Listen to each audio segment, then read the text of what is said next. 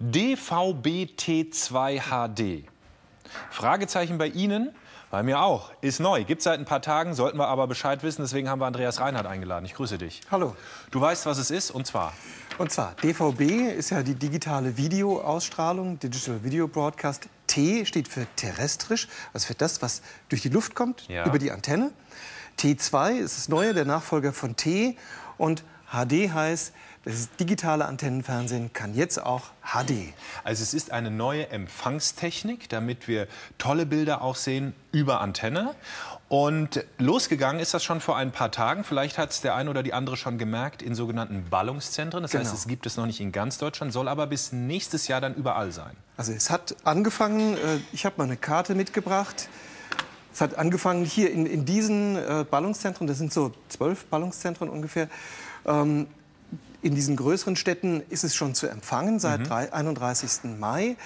Ähm, Im Moment sind es erst so fünf, sechs Programme. Später werden es bis zu 40 Programme sein, die man dann auch in HD empfangen kann. Ja. Es sind viele öffentlich-rechtliche dabei, sind auch private dabei.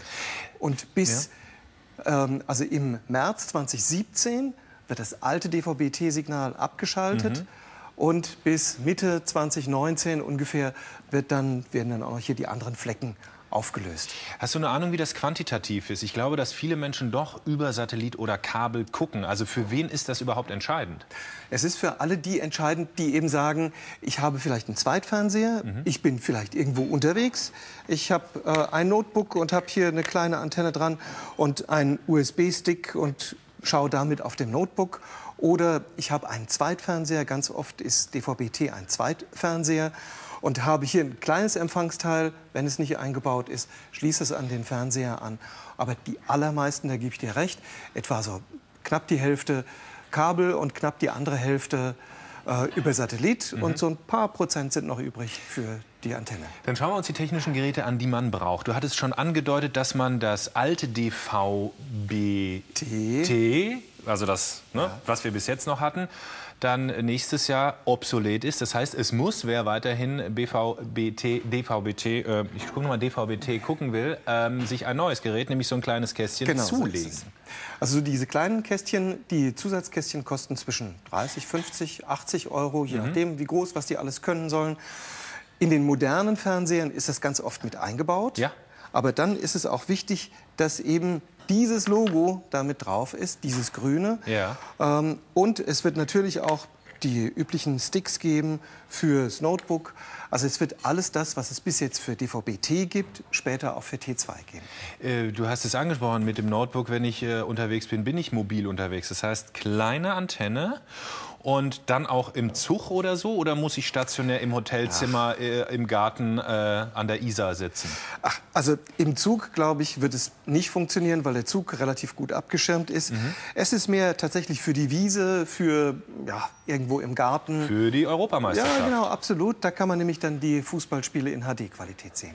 Die Antennen sind unterschiedlich groß. Die ist jetzt nicht nur klein, weil sie für dein ähm, Notebook ist. Sie wäre für einen Fernseher vielleicht auch nicht viel größer. Welche Antenne in welcher Größe braucht man wo? Muss man ausprobieren. Manchmal reicht wirklich eine kleine Antenne, je nachdem, wo man liegt, wie stark die Versorgung ist. Mhm.